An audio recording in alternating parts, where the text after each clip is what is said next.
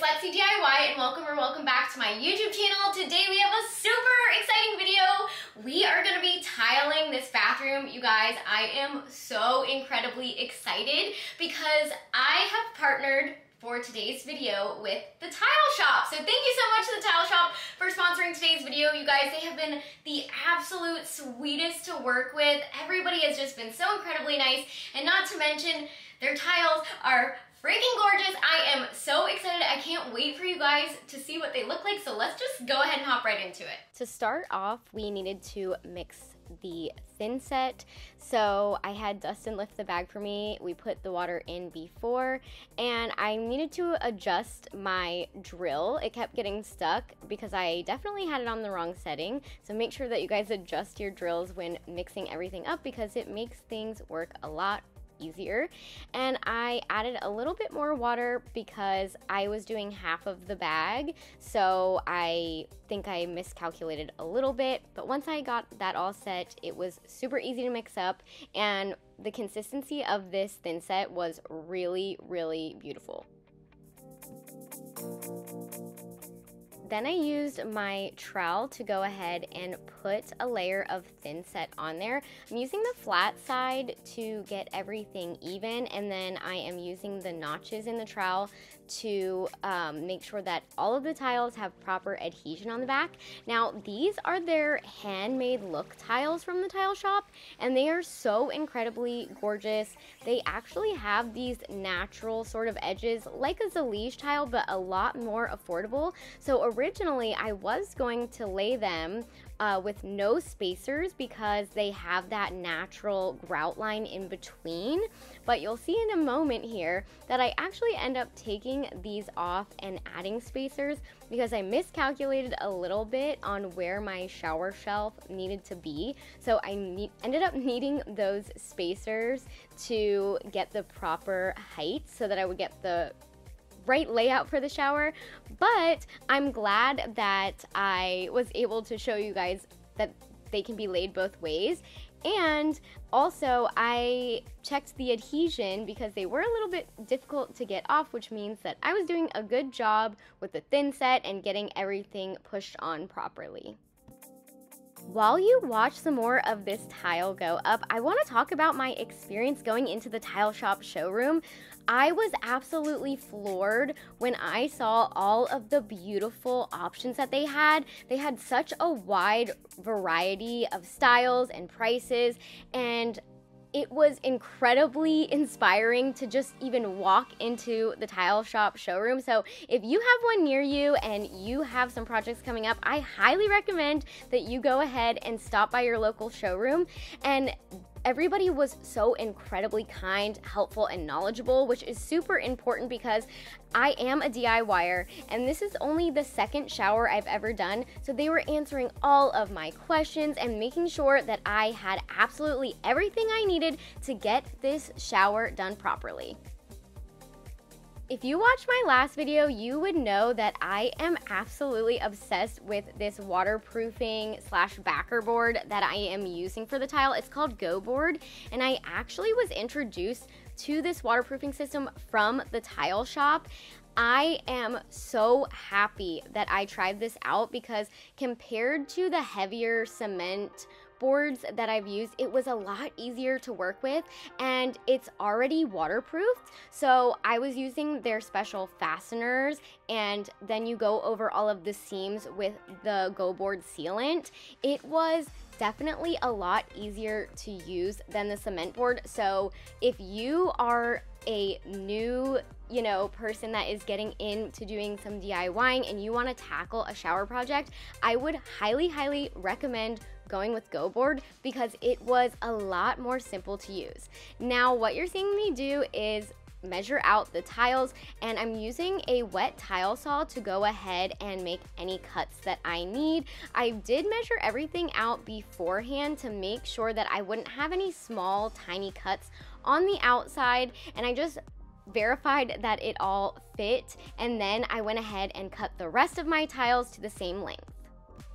There's a few things that I want to mention about starting with a, a whole tile instead of a cut tile on the bottom. One is you want to make sure that if you're going to do that, your tub is completely even all the way around. I did use a laser level to make sure that I had the same distance all the way around so that I could start with a full tile. Um, so that's really important because you don't want a gap so that everything is level. If one side of your shower happens to be a little bit unlevel, then you would have a gap underneath your tile and you definitely don't want that. You do want a small expansion gap, which is why I have put the spacers between the tub and the tile when I got to these edge pieces that did need to be cut, I made sure that I measured it out and again I checked that first cut piece to make sure it was going to be good and then I cut all of my cut tiles at the same time so that this process would be quick and I wouldn't have mortar drying up on me while I was doing this. Then I needed to cut my tiles at a 45 degree bevel and they do have special um, things that you can buy to do this a little bit more easily, but I just put some painter's tape on and I held my tile at a 45 and used my normal tile wet saw to go ahead and complete this process for my shower ledge. And honestly it worked out really really good and I'm so happy I ended up needing to do this shower ledge. It was such a happy accident because it turned out so incredibly cool and it's going to be extremely functional which is also very important because I have a lot of shower products, so I needed somewhere to store them, and this was the perfect solution. For this shower ledge, I cut both of the tiles out of 45 and then they kind of just came together. Now, I think it's really important to say that I did build up the back of these tiles with thinset near the wall so that it goes at a slight slope. If it's just completely flat, then water won't be able to drain off of it. So when I was doing my thinset, I made sure that there was a little bit more at the back than there was going to be at the front. And I am using spacers in between the gaps in the front because I'm going to be filling that with grout. And I think it's gonna look extremely clean and classic when that part is done. Now we're on to the wall above the shower shelf and when I was figuring the layout of the tile out, it was really important to me to get a full tile at the top of this shower shelf so that it lined up with the outside edges really seamlessly. And I'm lucky that I was able to fix my math error with the spacers. So luckily I was able to do that, but just make sure if you're gonna tackle this project that you check your math many, many times because you wanna make sure that the layout is cohesive with your tile and that you're not going to have any super tiny cuts and that everything is going to flow seamlessly. So I very highly recommend spending the extra time to build out your plan of the way that you're gonna lay your tiles and then check it twice. When picking out my tile, I really wanted to go with something timeless and classic, but also still in my modern organic vibe that I keep my entire house.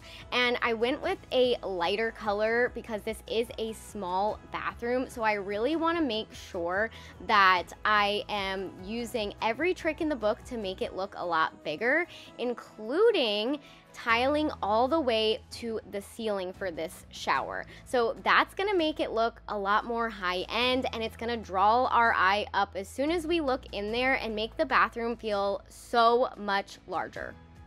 One really beautiful thing about these tiles that you can see here is the slight color variation. So that is really giving some depth to the shower. It's making them look handmade. Um, you know, they're called handmade look tiles because even though they are not handmade and they're a little bit more cohesive than say a Zellige tile, they still give off that same vibe, which I really love because Zellige tiles are a little bit tricky to work with, especially for a beginner.